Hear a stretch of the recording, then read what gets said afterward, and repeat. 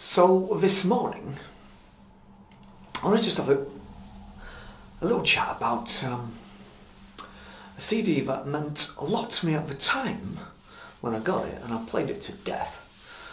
But now it doesn't doesn't really mean anywhere near as much to me. What am I babbling on about? I'm talking about Extreme Three Sides to Every Story from 1992. Now, I didn't get this in 92, I got it about 98, so five years later, roughly. Um, I saw it in a second-hand store in Manchester. Uh, mainly do books. They're still there actually. Uh, they keep strange hours. It's mainly just weekend. And I saw this and I thought, ah, four quid, what can go wrong? Obviously, I'd heard of Extreme, I'd heard the hits, everybody's heard the hits. Um, and I thought, yeah, give it a go. I hadn't heard anything off this particular CD, Three Sides to Every Story, but I wasn't taking a risk. £4, what's £4? It's nothing. Loose change. And when I got it on, I really liked it. And I, as I say, I played this thing to death. Really loved it, particularly um, the final part of it. It's in three, three different uh, sort of sections, I suppose you call it. It's meant to be um, some kind of concept record. Uh, the first side is called Yours. The second side is called Mine. And the third side is called And the Truth. So yours, mine, and the truth. So your side, my side, and the truth. So three sides to every story. And that's always stayed with me, that. Because I thought, actually, that's there's a lot of truth in that.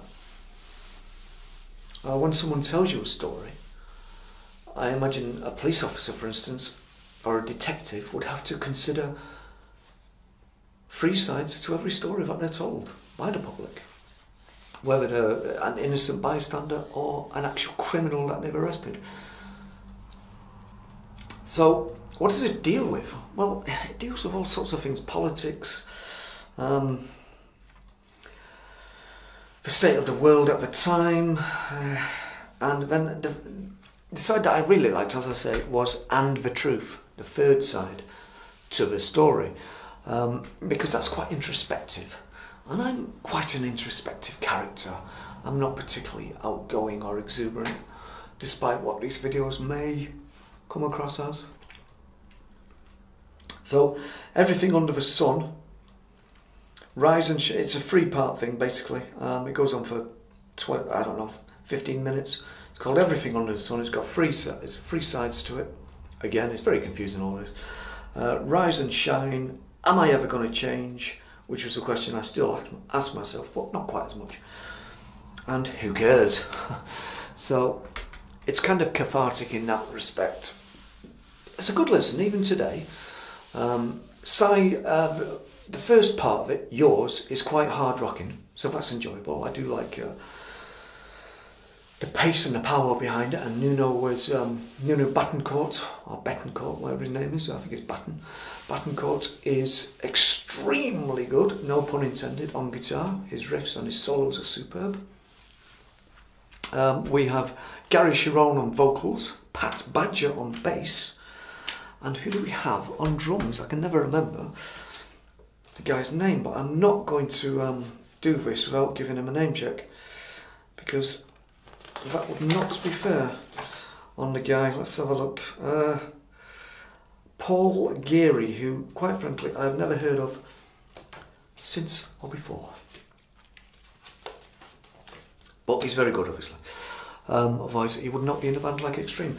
Now, this record didn't really do that well because it had no hits on it. There were no obvious hits on this. It's it's quite proggy in respect in some respects. There's a lot of keyboard on it. It's quite progressive this record, um, but I don't think it holds up. 25 years later, whatever it is, because some of it's just a little dull.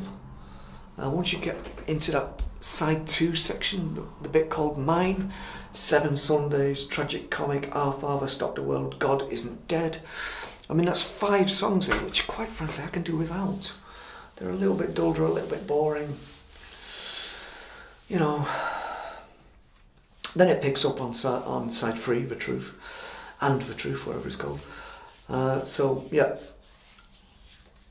that whole middle section you can kind of do without it. It's a single disc. It sounds terrific. Don't um, don't be fooled by by that. It does sound terrific.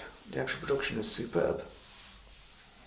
Um, but it didn't sell anywhere near. I don't even think this touched a million. It didn't even touch a million sales worldwide. Whereas the one that came before it, Extreme 2 Pornograffitti, brilliant title, featuring obviously more than words and some other cracking songs, including a lot of good hard rock. That only, sorry, that sold double platinum worldwide. Minimum. Now, obviously, since then, it's obviously gone on to sell more, but you know, these certifications are reasonably old. Um, I don't think we do them that often for many bands. So, what did it do on the charts? Well, let's have a look. It didn't do that well, as I said. It wasn't a massive seller by any degree. It, uh, let's see, what did it do? I mean, it did okay in Finland, number three. Again, those Finnish guys. In the UK, now this is a surprise to me. In the UK, we put this to number two. Now that, it must have been on the back of Pornograffitti. It must have been, more than words. We put this to number two. Uh, the Americans number 10. Japan number 5. So, you know. Um, and Canada number 10. And as I say, barely squeaked a million sales worldwide. Probably now, 25 years, 25 years later, it's done a million worldwide. But this is one that people don't really talk about from the band. Um, it's still better than what they did recently. They released an album recently, which, quite frankly, left me cold. There's about one good song on it with a terrific guitar solo, the first song from Nuno, who is enormously underrated as a player, but very flashy. And I think any band that he was in would have to be kind of all about him, a bit like Steve Vai. I think Nuno would be better off as a solo artist, just like Steve Vai. Anyway, have you heard Three Sides to Every Story? Um, most of the reviews that I've gleaned, they they were kind of average. A lot of the reviews said it's okay, it's okay, but there's no obvious hits on here. And in places it seems like they're trying to just fill up the CD. Because this is a long record. There's a 70 minutes plus of music on here. This is a, a real commitment in your time. This is going to make you stay up late. So, and it's actually produced by Nuno himself and co produced by Bob St. John, who is a name in production, music production, and has been over the years. As I said, have you heard it? If you haven't, give it a listen. See what you think. It's okay in places. I would skip the whole middle part of it, quite frankly. You're not missing anything. But I think the rest of it, I think you'll like it. And if you are of an introspective bent, which a lot of rock music fans tend to be, and there's nothing wrong with that, not everybody can be exuberant all the time, flying around the place like a wild thing. Um, a lot of people can be just, you know, themselves and calm and collected. So give it a listen, I think you'll like it. As I say, particularly side one and side three. So that is Extreme. Three sides to every story from 1992.